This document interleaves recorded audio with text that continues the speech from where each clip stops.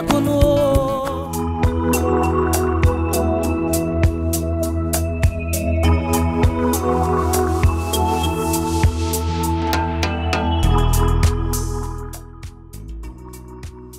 perro, desde que vive cerca del hombre, ha desempeñado roles muy importantes. El más importante de todos ha sido el de la compañía, compañía de familias, de gente que vive sola, de ancianos, perros lazarillos, perros para sordos, perros que ayudan a personas minusválidas, perros que son acompañantes terapéuticos, otros de rescates de personas que buscan droga, perros policías y perros cazadores. La elección de los perros según la actividad para la cual están destinados es diferente.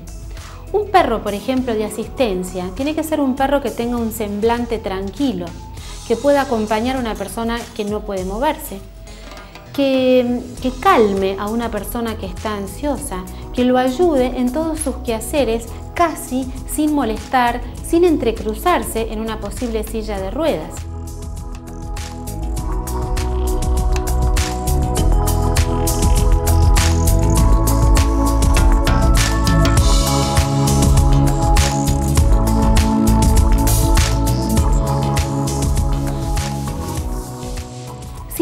Decimos que son perros de trabajo, para el perro el entrenamiento debe ser algo lúdico, de hecho lo es.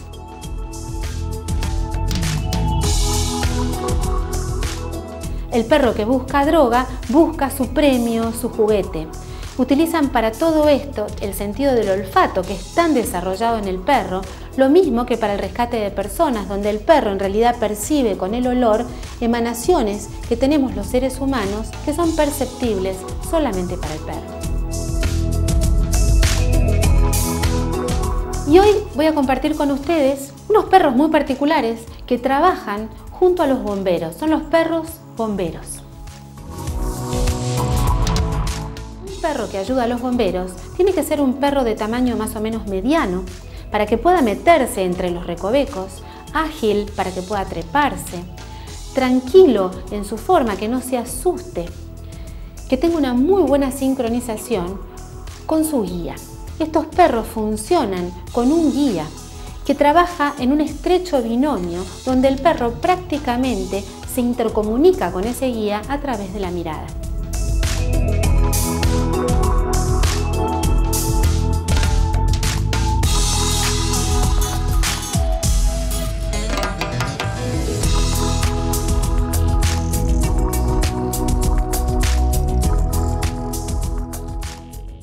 La Asociación Civil Escuela Canina de Catástrofe se crea en el año 1995 después del atentado a la AMIA. Nos acompaña para explicarnos de qué se trata el señor Juan Carlos Lombardi, que fue el primer guía que fue con su perro antes que llegaran los perros rescatistas israelíes.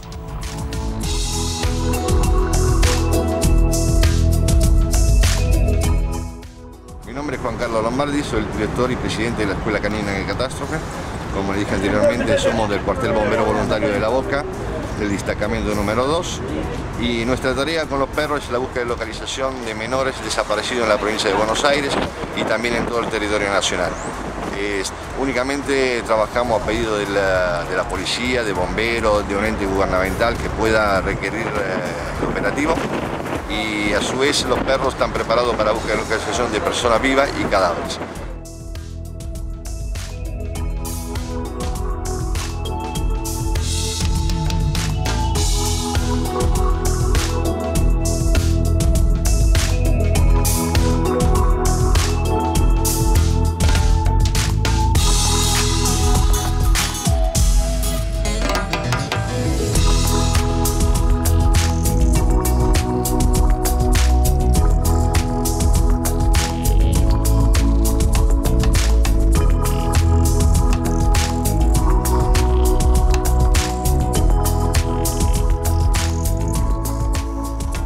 Esta mañana volvimos de un operativo de un nene de 10 años que estaba perdido en, la, en Escocia Paz. El nene se había perdido en un monte y estuvo toda la noche ahí hasta las 3 de la mañana que pudimos localizarlo con el perro para poderlo devolver a sus familiares.